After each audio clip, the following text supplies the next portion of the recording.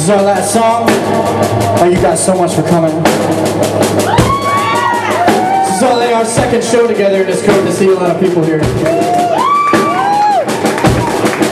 Hope everybody's having a good fucking time. We got Shredder up next!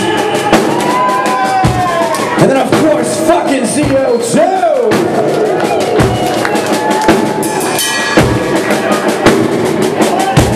Now, who's ready for the end of the world tomorrow?